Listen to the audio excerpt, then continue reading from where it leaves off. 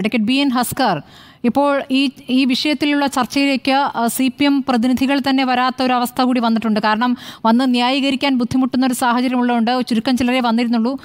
അവരിന്നില്ലതാനും Shri been Haskar താങ്കൾക്ക് ന്യായീകരിക്കാനുണ്ടെങ്കിൽ ന്യായീകരിക്കാം അതല്ലെങ്കിൽ മറ്റൊരു അഭിപ്രായം ഉണ്ടെങ്കിൽ അതും പറയാം.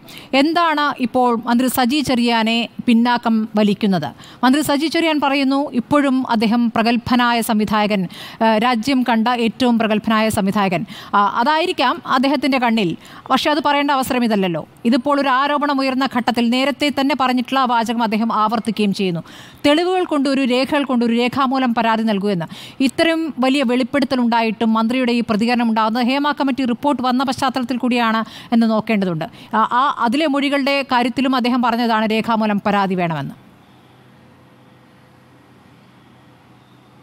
സ്മൃതി ഞാനിതിനെ ഒരു തരത്തിലും ന്യായീകരിക്കാൻ ആഗ്രഹിക്കുന്നില്ല. ഒന്നാമതായി. രണ്ടാമതായി നാം ഇതിന്റെ സാഹചര്യങ്ങൾ കൂടി മനസ്സിലാക്കുക. പതിനഞ്ച് കൊല്ലത്തിന് ശേഷം ഒരു ബംഗാളി നടിയുടെ വെളിപ്പെടുത്തൽ വരുന്നു. അത് ഹേമ കമ്മിറ്റി റിപ്പോർട്ടിന്റെ പശ്ചാത്തലത്തിലാണ് ആ വെളിപ്പെടുത്തലുകൾ വന്നിട്ടുള്ളത്. പക്ഷേ ഞാനിതിൽ ഗൂഢാലോചനാ സിദ്ധാന്തമൊന്നും അവതരിപ്പിക്കാൻ ആഗ്രഹിക്കുന്നില്ല. മാത്രമല്ല ചലച്ചിത്ര അക്കാദമിയുമായി ബന്ധപ്പെട്ട് കുറേ നാളുകളായി പ്രവർത്തിച്ചിരുന്ന ജോസഫ് എന്ന് പറയുന്ന ഒരു ഡോക്യുമെന്ററി സംവിധായകൻ കൽക്കട്ട സ്വദേ ബേസ് ചെയ്ത് പ്രവർത്തിക്കുന്ന ഒരാളാണ്. അദ്ദേഹമാണ് ഇത്തരമൊരു ആരോപണം തനിക്ക് പതിനഞ്ച് കൊല്ലം മുമ്പേ ഈ വിഷയവുമായി ബന്ധപ്പെട്ട് ബംഗാളി നടിക്കുണ്ടായ ദുരനുഭവം അറിയാമായിരുന്നു എന്നും അത് ഞാൻ ഫാദർ വട്ടോലിയോട് പറഞ്ഞിരുന്നു എന്നുമാണ് അദ്ദേഹം വെളിപ്പെടുത്തിയിട്ടുള്ളത്.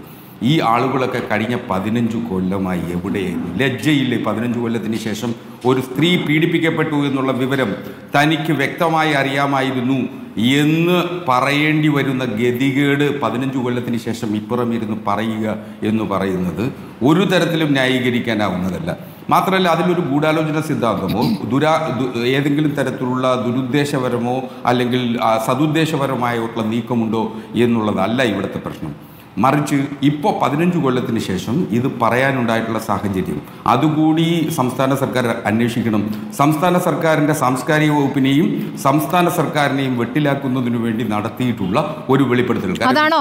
അത് അതിന്ന് ഒരു മിനിറ്റ് ശ്രീ ഹസ്കർ. അതിന്ന് ശ്രീലേഖ മിത്ര ഞങ്ങൾക്ക് നൽകിയ ദീർഘമായ അഭിമുഖത്തിൽ പറയുന്നുണ്ട്. ഇനിയിപ്പോൾ തൃണമൂൽ കോൺഗ്രസ് സർക്കാരിന്റെ ഒരു ഗൂഢാലോചനയായി നിങ്ങൾ കരുതുന്നുണ്ടെങ്കിൽ തെറ്റി. എനിക്ക് തൃണമൂൽ കോൺഗ്രസുമായി ഒരു ബന്ധമില്ല. അവിടെ മമത അധികാരത്തിൽ വന്ന ശേഷം ഇപ്പോൾ സിനിമയില്ലാത്ത അവസ്ഥ കൂടിയുണ്ട്. അവരൊരു സി പി എം ഇടത് അനുഭാവിയാണ് അതിന്റെ ഒരു ഫലം അവർ അവിടെ അനുഭവിക്കുന്ന സ്ത്രീയാണ്. അപ്പോൾ അത് നിങ്ങൾ ആ ഗൂഢാലോചന വാദം ദയവ് ചെയ്ത് പറയരുത് എന്ന്.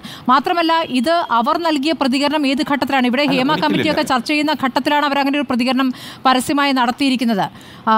ഈ സംവിധായകനും ഈ പറയുന്ന ഫാദർ വട്ടോളിയും ഒക്കെ ആ ഘട്ടത്തിൽ ഇവർക്കൊപ്പം നിന്നിരുന്നു. അന്ന് വിളിച്ചു പറഞ്ഞില്ല എന്നുള്ളത് അവരാണ് വലിയ പിഴവ് ചെയ്തത്. ഇപ്പുറത്ത് ഈ തരത്തിൽ ഈ ശ്രമം നടത്തിയ രഞ്ജിത്ത് രഞ്ജിത്തിന്റെ ഭാഗത്ത് തെറ്റില്ല എന്ന് പറയുമ്പോൾ എന്ത് ഗൂഢാലോചന സിദ്ധാന്തമാണ് ശ്രീ ബി എൻ ഹസ്കർ താങ്കൾ സമർത്ഥിക്കാൻ ശ്രമിക്കുന്നത്? ഞാൻ ഇതിലൊരു രാഷ്ട്രീയ രാഷ്ട്രീയ ഗൂഢാലോചന എന്നുള്ളതിനപ്പുറം പതിനഞ്ച് കൊല്ലം മുമ്പ് ഇത് ഈ ഇത്തരത്തിൽ ശ്രീലേഖ മിത്ര എന്ന് പറയുന്ന ബംഗാളി നടിക്ക് ദുരനുഭവം ഉണ്ടായി എന്ന ബോധ്യം രണ്ട് ആണുങ്ങൾക്കുണ്ടായിട്ട് ആ ആണുങ്ങൾ ഇത്രയും കാലം പതിനഞ്ച് കൊല്ലം എവിടെയായിരുന്നു എന്നുള്ളതാണ്. അവർ ഞങ്ങളുടെ സദസ്സുകളിലൊക്കെ ഇങ്ങനെ പറഞ്ഞു നടന്നു എന്നുള്ളതല്ലാതെ അവർക്കിത് സംബന്ധിച്ച് ഒരു പരാതി നൽകുന്നതിനോ അത് സംബന്ധിച്ച് അവരെ പ്രേരിപ്പിക്കുന്നതിനോ പതിനഞ്ച് കൊല്ലത്തിന് മുമ്പ് സാധിക്കുമായിരുന്നല്ലോ.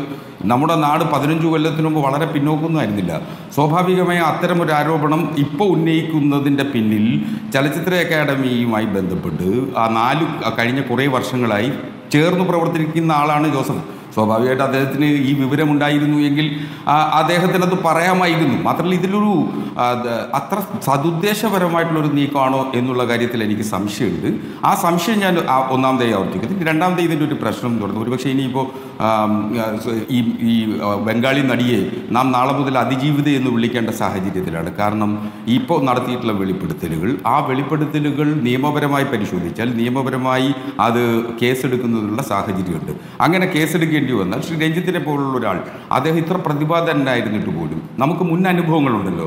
ഞങ്ങളൊക്കെ തന്നെ ഇടതുപക്ഷ പ്ര- പ്രസ്ഥാനത്തിന്റെ പ്രവർത്തകർ ആ ആർത്തു വിളിച്ച് മുദ്രാവാക്യം വിളിക്കുകയും സമരം ചെയ്യുകയും ചെയ്തിരുന്ന മുൻ മുഖ്യമന്ത്രി ശ്രീ ഉമ്മൻചാണ്ടിക്കെതിരെ നടത്തിയിട്ടുള്ള ഒരു സമരവും ആരോപണവും നമ്മുടെ മുന്നിലുണ്ട്.